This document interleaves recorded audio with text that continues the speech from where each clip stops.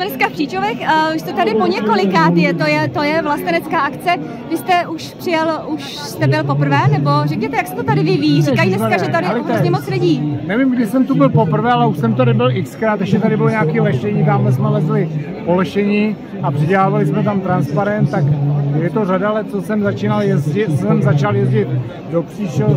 Eh, no je to zajímavé setkání lidí s podobným pohledem na svět, jako mám já, jako mají oni, zase já si nedu kvůli Tak eh, je to pěkný, rok od roku se zvedá ta účast, je tady stále více a více lidí a zdá se, že se i ta skupina lidí poněkud obměňuje, protože přijíždí lidi, kteří mají celou řadu myšlenek, ty myšlenky tady společně konzultují a zřejmě domů si odvážejí zase utříbený nějaký pohled. Čili není to jenom skupina nespokojených lidí, ale také skupina lidí, kteří s tím problémem, který v naší zemi je, to odnárodění, ta, ta, to přehlížení potřeb této země, pěti koalicí, tak oni s tím něco chtějí dělat. A potkáváme se s tím na každém kroku, ty otázky a tak dále. Takže Příčovice stávají takovým fórem lidí, kteří chtějí změnu. Uh, vy jste v politice, jak dlouho jste vlastně v politice celkově, jestli? Já jsem vstoupil do sociální demokracie v listopadu 89. Takže vlastně v podstatě od, úplně od začátku. Úplně od začátku. Nebo teda jako od toho Ale tak jako listopadového. Hlouběji v politice jsem někdy od těch let 93.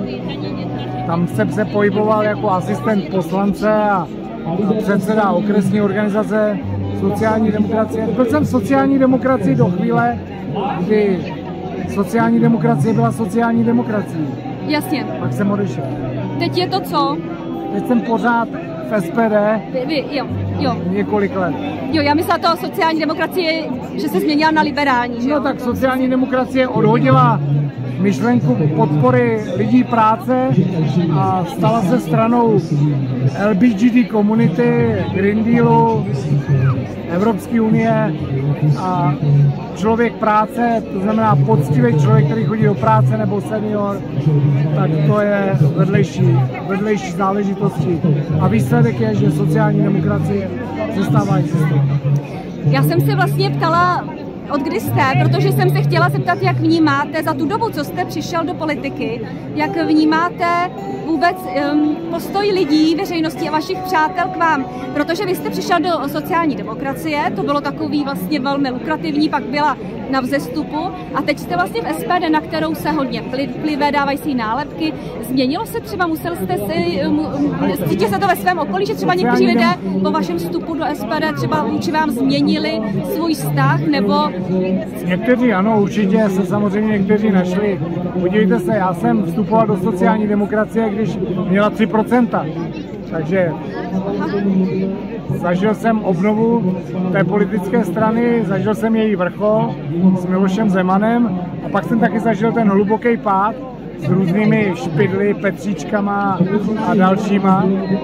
A pokoušeli se mě vyloučit, nevyšlo to ohlas, musel jsem se smát tak jsem odešel sám, protože já jsem zůstal tím člověkem, který se snaží dělat politiku pro lidi práce a mě nějaká LBGD komunita nezajímá.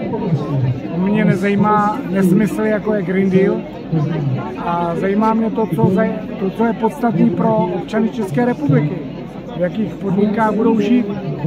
A to je mi blízká SPD, tak vlastně jsem přešel k SPD tím, že jsem zůstal svým a našel jsem si politickou stranu, která má stejné pohledy na život jako já.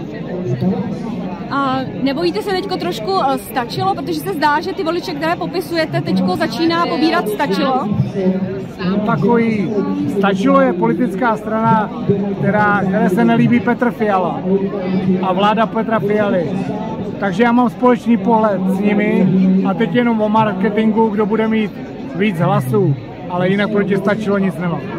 Jasně, takže máte tam nějaký přezak společný. Já, já jsem se vlastně ještě se vrátím k těm náladám společnosti. Vnímáte nějakým způsobem, já jsem si všimla, že opravdu se tady, že se lidé začali teď víc zajímat o politiku. Jak to vnímáte, že zpočátku od těch, jak byste to popsal, to, to zapojování se a vnímání politiky společnosti úplně na začátku, jak byli asi lidi, že jo, nadšený najednou prostě po komunismu, pak, pak se začali teď poslední dobu až po tom covidu, nebo na konci 90. let lidé pochopili, že byli podvedení. Na konci 90. let veřejnost pochopila, že listopad 89 eh, byl podvod, že to bylo velmi dobře připravené převzetí moci, a zejména převzetí těch ekonomických a, pol- a společenských postojů. A od té doby vznikl odpor, protesty a dneska tady už máme lidi, kteří od protestů chtějí přijít k tomu, že chtějí změnu. A tu změnu by chtěli zrealizovat. A vědí, co by přesně udělali. A to si myslím, že je velký posun. To znamená, od, od pouhých výkřiků přichází lidi, kteří říkají, ale ne, my bychom energetiku dělali takhle, takhle a takhle. My bychom zemědělství dělali takhle, takhle a takhle. Takže přichází nová společenská skupina, která chce změnit podmínky v této zemi, chce navrátit, navrátit uh, hospodářství do rukou uh, lidí Ústec, uh, Ústeckého kraje, vidíte, vidíte, vzali ty volby krajské. Ze svého kraje, jasně, uh, chápu. Vlastní země a chtějí dělat politiku pro vlastní zemi. Bez toho, aniž by se stali otroky a poklonkáři cizí zemi.